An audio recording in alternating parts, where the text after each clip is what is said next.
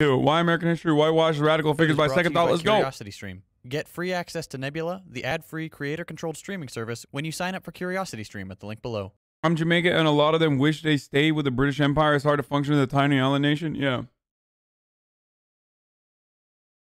The problem is when they leave, when when the the uh, when the imperial forces are gone, they leave the country in a worse off position than it already was. When it was in a worse off position than it already is Hi.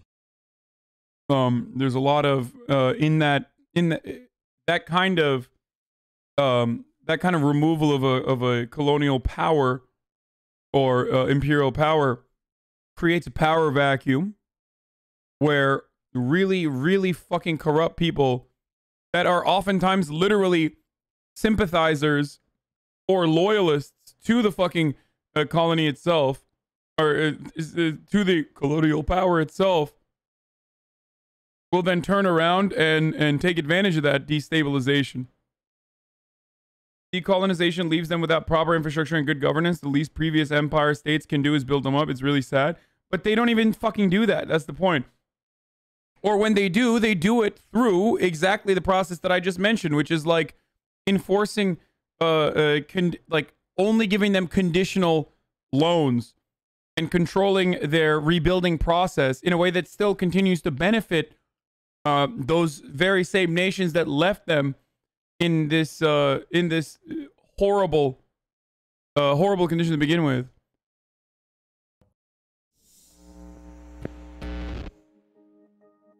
What do Thomas Paine, Rosa Parks, Albert Einstein, Helen Keller, John Steinbeck, George Orwell, Pablo Picasso, They're Nelson all socialists. Sorry, I had to say it. Mandela, Bertrand Russell, and Martin Luther King Jr. all have in common? They're all democratic. These historical figures, among many others, are routinely taught about in American schools. They're all praised for their various contributions, Hey, whether Daddy Helen. artistic, societal, governmental. They're all socialists, and they never fucking mention that in any. You just for the first time fucking found that out just in this video. A lot of you for the first time just fucking found that out. Yes, Einstein was as well. or scientific, and they're all generally portrayed as good, virtuous, and intelligent people. But they also have one more thing in common something that's never mentioned in American schools. They were all socialists. In Yup. this episode, we're going to take a brief look at how history, especially American history, tends to whitewash radical figures and why it's done. This video could easily be an hour long, but since I have analytics that show me just how long the average person watches, I'm going to try to keep this short. With that in mind, we're only going to look at a couple of the many historical figures who have had their radical past defanged by imperialist history. Let's start way back in the earliest days of the United States. These days, it can be pretty hard to find anything to like about modern politicians in the US, with many Americans complaining that, in decades past, those who ran for office possessed integrity and unimpeachable morals that current candidates lack. The further back most people look, the more wistful they seem to become. When are you gonna stop pretending you haven't watched these videos? I love that. it's a very nice compliment. It is a very nice compliment. So thank you.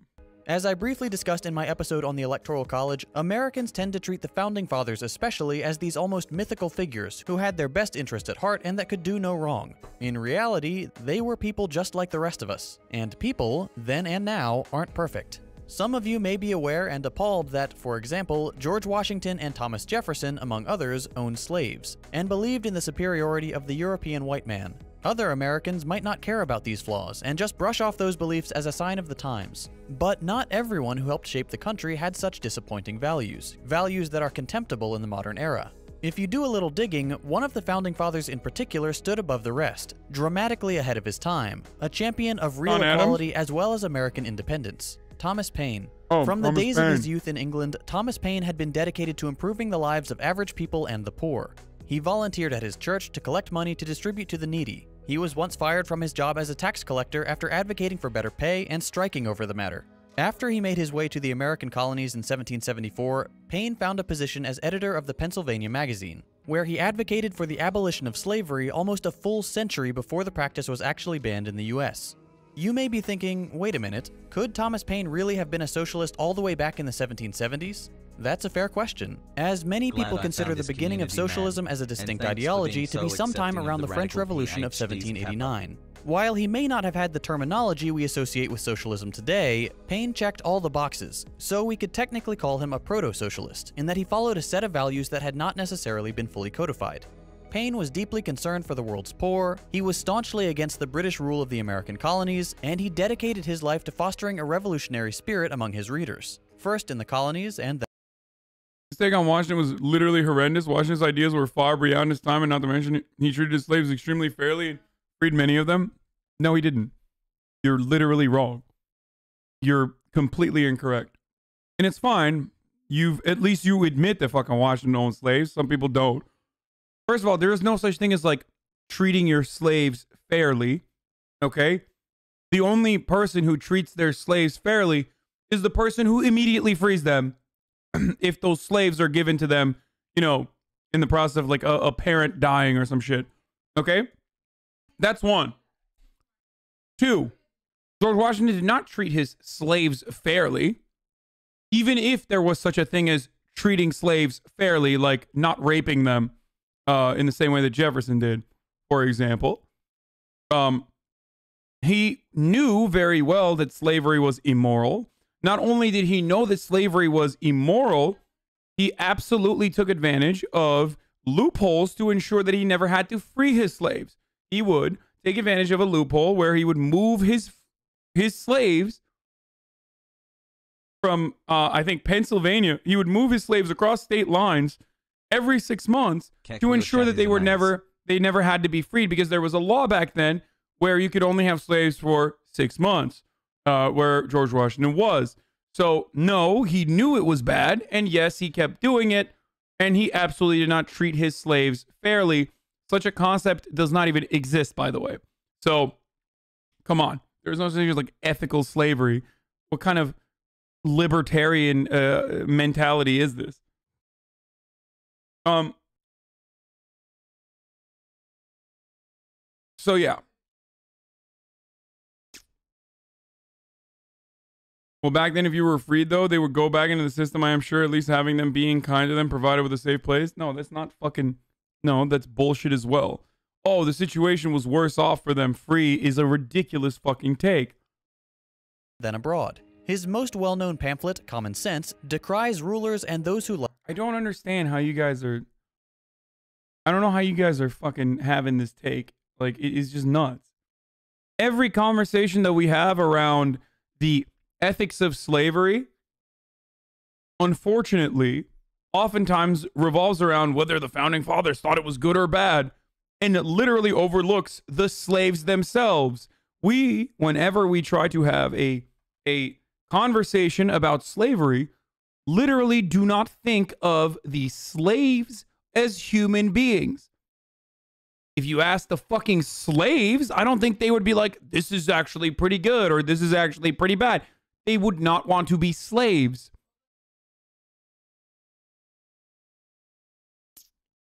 The enslaved people's man, okay. Really? Like that's the that's the fucking corrective behavior that you want to engage in uh in this conversation? Like do you think I'm on fucking I'm on Oh, yikes, dude. lust for power, saying, Men who look upon themselves born to reign and others to obey soon grow insolent. Selected from the rest of mankind, their minds are early poisoned by importance, and the world they act in differs so materially from the world at large that they have but little opportunity of knowing its true interests, and when they succeed to the government, are frequently the most ignorant and unfit of any throughout the dominions. Once the Revolutionary War was over and the Founding Fathers had settled into positions of power, Paine was expelled from government and labeled unpatriotic for rightly accusing a fellow diplomat of war profiteering. Not content with having freed just one nation from hereditary rule, Paine was determined to do the same thing in France during their own revolution. From his home in London, and against the will of both the British and French governments, Paine Asshole. published The Rights I don't comment much, but to be the devil's advocate from last take, slave life is all they know. How could they want anything else? Do you guys think that like the abolition movement started on its own or something? Like, do you think that it was a white man, a white man's burden, where a white man finally said, "Let's free these slaves"? Is that how it works? If slaves, if enslaved peoples, uh, if all they knew was being a slave, a lifetime of, of subjugation to slavery, then why the fuck did you need slave drivers? Why did you need to whip them? Oh, it turns out people don't want to fucking do that. Okay? People don't want to fucking do this shit.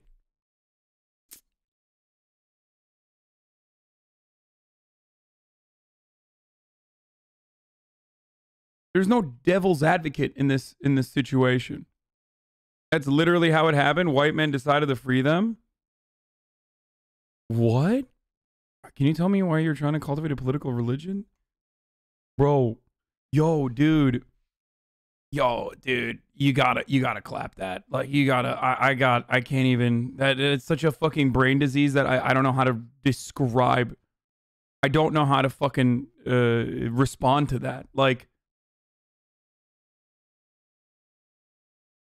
like white people played a fundamental role in the abolition of slavery. But this notion that like it was the white man who fucking decided it's time now is ridiculous.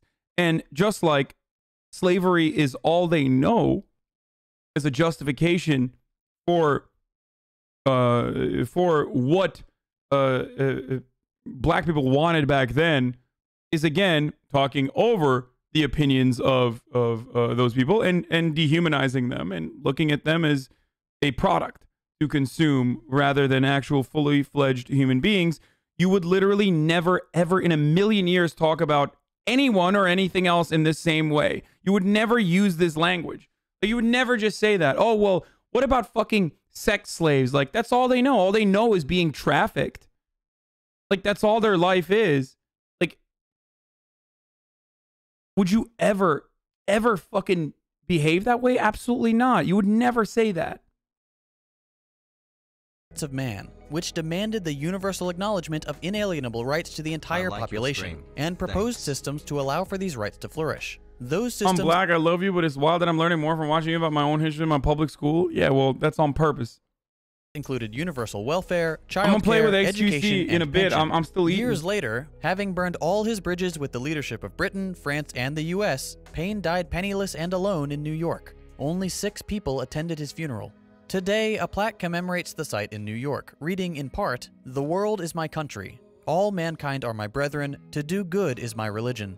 Thomas Paine was not only more progressive than those of his time, he was more progressive than even many Americans today. Paine opposed the concept of private ownership of land and admired the Iroquois nation for living sustainably and democratically. He supported universal suffrage, the right of workers to control the capital they used, and was the first notable American to propose the implementation of UBI. Taken together, all of this essentially makes him the original American socialist, and people like Bernie Sanders follow in his centuries old footsteps. Compare this information with what you learned about Paine in school. You probably knew he wrote Common Sense, which supported the colonial struggle against the British Crown. Odds are that's all you were taught. But let's fast forward to a more recent radical figure. Martin Luther King Jr. was, and remains to this day, the most well known figure of the civil rights era. From 1955 until his assassination in 1968, MLK fought for desegregation, labor rights, the right for black Americans to vote, and countless other societal reforms that today we take for granted. Just about uh-huh, every uh-huh, American is uh-huh. familiar with at least some of King's story. We are taught that he was a good Christian man who advocated for equal rights and that he led a march on Washington and gave the I Have a Dream speech. This, of course, ended racism and everyone lived happily ever after the end. Obviously, that's not the case, but that's about the extent of the American education on the civil rights era. Here's the thing Dr. King was a far more radical organizer than most people today are aware. American history books tend not to include King's later activism. He was staunchly anti imperialist, harshly criticizing America's meddling in foreign affairs, especially in Vietnam. He was opposed to militarism and war. He rightly pointed out that poverty could be eliminated with the tools at our disposal. It was simply a matter of putting Sorry, I'm just trying to make sure. I'm just trying to scan. Whenever they say Vietnam, sometimes they'll show American history is so gruesome and so violent that like Twitch will literally not let me show you the outcome of American uh, history. Oftentimes, so I'm I'm just scanning through. Like the, my first ban ever was around this exact same subject. Do you think MLK is not a doctor because he's actually a reverend doctor? Yes, he's a reverend. I'm pretty sure I, I, would doubt I doubt that MLK was like, you need to call me a doctor. The I I don't know why people God, I don't want to get unlocked on this again. I don't know why you guys like brush over the literal argument that I'm making, which is pretentious as fuck to like constantly correct people to be like, I'm a doctor, by the way. Um, or even in the same way that like Jill Biden low key or the Joe Biden campaign low key did, like take advantage of her doctorate in education to make it seem like she's a fucking medical doctor, which even confused people like Whoopi Gold, uh, Whoopi Goldberg. Um, God, a lot of you got a PhD in fucking baiting, I think. Human life over corporate profits. When he led the Montgomery bus boycott at just 26 years old, King was already devoted to the struggle for equal rights. But, like anyone, his opinions evolved over time. As he led marches and spoke with people from all walks of life, he began to realize that the problems black people faced in America were a symptom of a larger disease. Between 1957 and 1968, King traveled over 6 million miles, delivered more than 2,500 speeches, and was arrested and thrown in jail at least 20 times. Over that period, Dr. King developed an understanding of the way poverty, racism, militarism, and imperialism were all tangled up together in the mess we know as capitalism. He said, call it democracy or call it democratic socialism, but there must be a better distribution of wealth within this country for all God's children. Martin Luther King wasn't shy about making his political beliefs known. It's just that modern histories like to leave that part out to make King more palatable, to make him seem like a harmless do-gooder. Bro, the shit MLK said about Ho Chi Minh, which was absolutely correct, by the way, but the stuff he said about Ho Chi Minh, if you want to troll neoliberals on the internet who like get off on talking about how much they love being the white savior of like third world uh, countries or whatever, just literally quote um, the good reverence uh, takes on Ho Chi Minh, okay, Uncle Ho, as though they are your own, and watch them fucking tell you that you are a tanky, larper, racist, class reductionist. Okay? Because 16 Like- months bogger. he was absolutely correct at the time for for what he said. But but like the, our understanding of MLK is that you know he's a good guy and that's because he was very civil and very nonviolent and he never said stuff that offended white people's sensibilities. Okay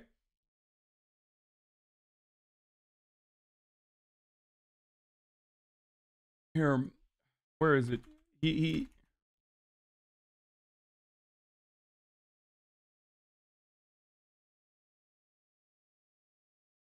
It was a famous speech called Beyond Vietnam. Okay? Exactly one year before his assassination, I think this is the one I'm thinking of. That speech entitled Beyond Vietnam, A Time to Break the Silence was an unequivocal denunciation of America's involvement in Southeast Asian conflict. A time comes when silence is betrayal, King told the crowd gathered at the Riverside Baptist Church in New York. He indicated that his commitment to nonviolence left him little choice. I knew that I never again would raise my voice against the violence of the oppressed in the ghettos without having first spoken clearly to the greatest purveyor of violence in, in the world, my own government. He given an anti-war speech bef- uh, in February 1967, but that sentiment was often described as pro-communist in America, that is, in the midst of the Cold War. So King spoke again two months later to ensure his position was clear. King carefully laid out the history of the nation's involvement in Vietnam. He started in 1945 when Vietnam's Prime Minister Ho Chi Minh overthrew the Japanese and French. He carried his audience through American support for France's effort to regain its former colony. The only change from America as we increased our troop commitments in support of the governments which were singularly corrupt, inept, and without popular support. Now they languish under our bombs and consider us not their fellow Vietnamese, the real enemy. Okay, this is not showing some of the more radical parts. I'm not gonna make you watch the. It's a 56 minute speech, or it's a long ass speech. Look at what Chunk Yogurt said. MLK also beat his wife, but he's still praised by white guilt SJWs. Um, classic. I mean, when you're a racist and and you have nothing else, you're like, oh well, he he beat his wife. It's ironic because normally that kind of uh, behavior is something that you know if it's one of your figures that you would appreciate. Um, that's something that you would criticize the SJWs over, like when when some people were saying. Uh, that Frederick Douglass left his black wife and and went and married a white woman, and therefore like his accomplishments are, uh, I think, diminished, or rather, that uh, he should be uh, criticized for it. Like it's just, it's just a, it's just a way that like that's a bad take overall, right? It's just a way to fucking try to launch criticisms at someone. And sometimes when progressive people do it, I shit on them. When Republicans do it, though, or when conservatives do it, they literally do it because they just can't openly say it. Because he's a pussy and he can't say, like, Martin Luther, he can't call Martin Luther King the N word, right? Because he's too big of a pussy. He has to turn around and be like, oh, he beat his wife or some shit. Yeah. Got to attack the character. Yeah. People that own slaves, good. Um, profoundly important figures. Oh, by the way, uh, the the beat his wife thing is, uh, beat his wife thing with MLK is like, um, I don't know how. I mean, I think he was regarded as as uh, a bit of a misogynist, but but um, most of that shit is FBI uh, propaganda, including the fact that they uh, tried to blackmail him. Is definitely. I, I don't know. I don't think he. I don't think he was. Uh, I don't think he ever like beat his wife or anything. I, I'm not. I'm uncertain though, but I might be. He cheated on her, not beat her. No, the FBI, the womanizer thing is not a CIA psyop or FBI. The the part of it is the part of the part of this convo that is like completely made up is the part of this conversation that was completely fucking made up is is the stuff that he was like doing uh he was engaging in like sexual activities that at the time would be deemed degenerate and that was all fucking blackmail from the FBI was made up. And by the way, none of that matters. Like literally none of that matters. It doesn't matter. I don't give a fuck that he cheated on his wife. I'm sorry. Like sorry. Like I, I don't care. I, I literally don't care.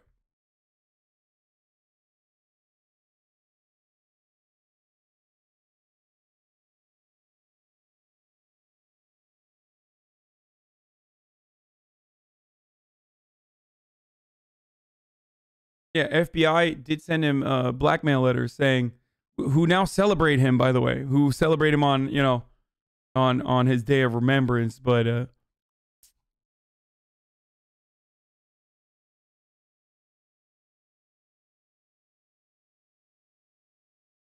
concerning black women and the way that civil rights affect us, we have to realize that some of these figures do work entirely for our liberation. So although we are thankful for what progress we had, it's just a conscious punch a continuous punch in the gut. The progressive movements continue to neglect us. I just, you're right.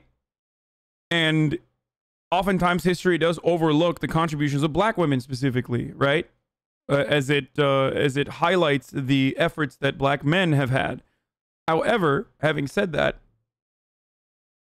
they were just Thanks fucking misogynistic. Life. Much appreciated. They are, to a certain degree, a product of their own um like it's not a good thing, right? I'm not saying it's a good thing, but they are a product of their of their upbringing. Who just wanted black people to be able to vote and drink from the same water fountains as white people.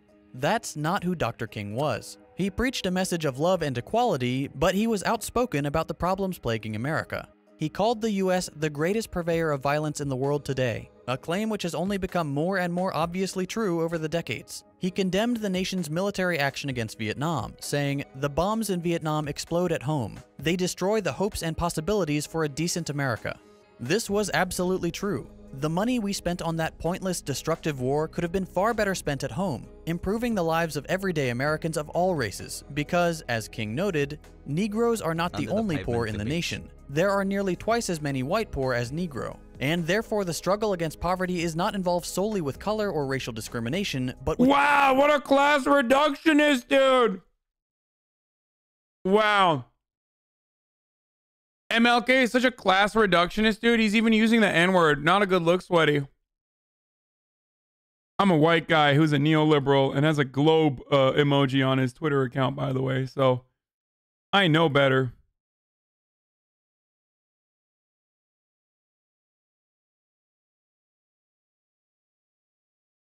With elementary economic justice. Dr. Class reduction is tanky. King would continue to speak on behalf of the poor, downtrodden, and forgotten, and not just those in America, but around the world, until the end of his life. In 1968, the year of his death, King said in an interview, For years I labored with the idea of reforming the existing institutions of society. A little change here, a little change there. Now I feel quite differently. I think you've got to have a reconstruction of the entire society, a revolution of values. He knew that milquetoast reforms and compromise would never be sufficient to save the country, and that radical change was needed. Because of this, while traveling to support striking sanitation workers in Memphis, Tennessee, Dr. King was murdered. At the time of his death, he had just a 30% approval rating among Americans. This is in stark contrast with the rosy picture of an American hero we're shown in school. We're taught that most Americans respected MLK and that he changed their minds. Clearly, no.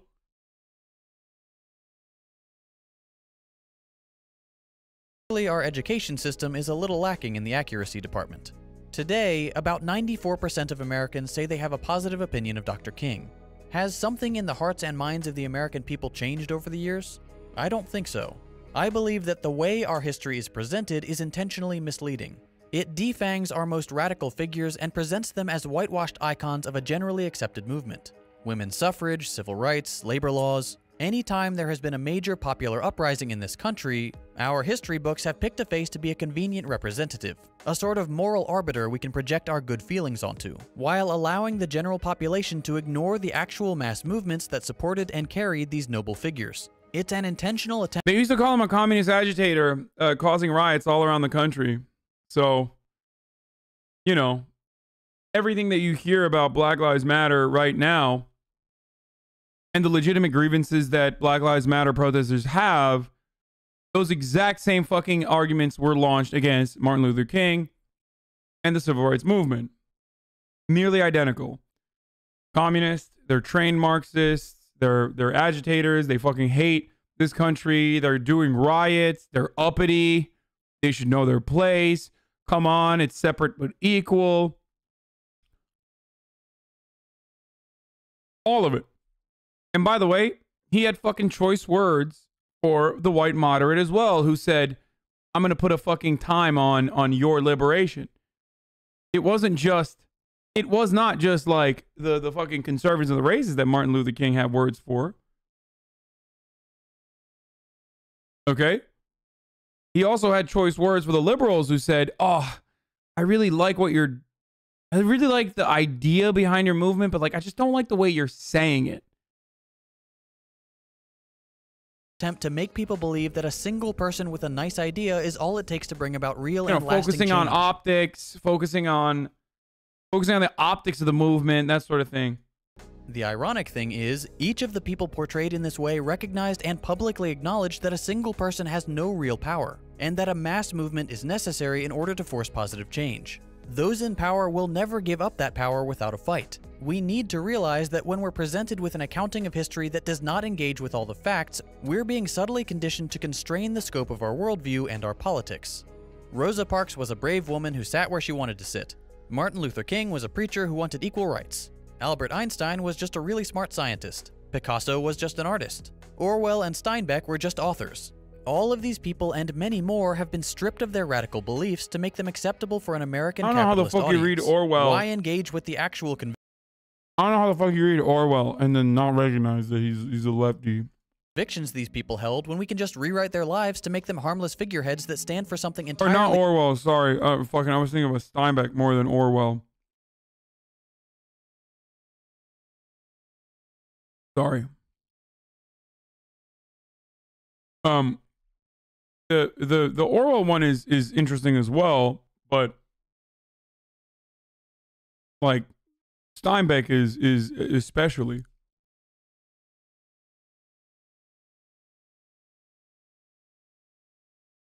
George Orwell was a um I think George Orwell was still anti-USSR though. George Orwell was a a democratic socialist, but he he was not uh too fond of uh, the USSR. He hated fascists, but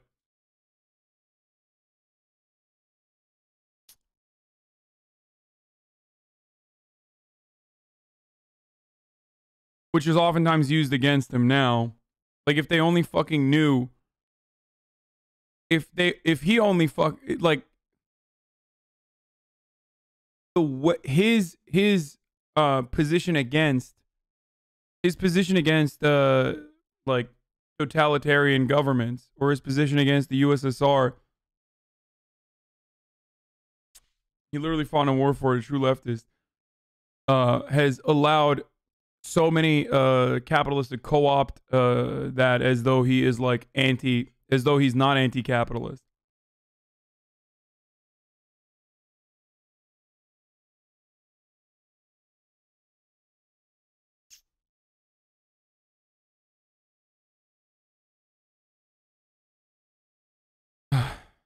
Orwell was a snitch. He literally outed communists to the British government. Look up Orwell's list. Yeah, uh, lefties fucking uh, go in and out of liking Orwell. There's a, there's a bunch of people that won't like him, but yeah, he is he's uh, a bit of an anarchitty who actually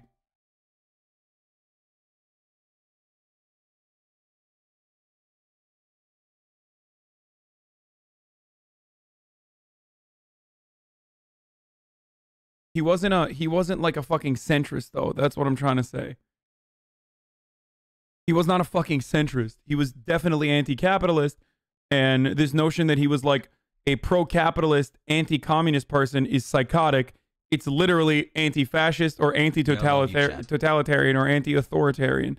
Um a, a person who himself, if I'm not mistaken, uh, who who took up arms to fight against a, a fascist regime is is not is being remembered as like a fucking pro-capitalist. different today than what they stood for in life.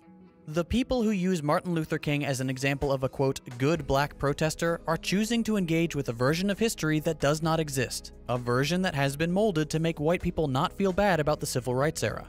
Those people need to reckon with the fact that they would have been in the 60% that held an unfavorable opinion of Dr. King in 1968. Why? Because if he were alive today, his convictions would put him on the front lines of every divisive issue that so many of these Americans take as an attack on their traditional values and the greatness of our nation.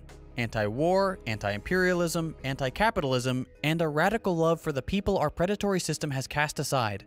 That's why our histories whitewash radical figures, so the mass movements they represented won't inspire the next generation.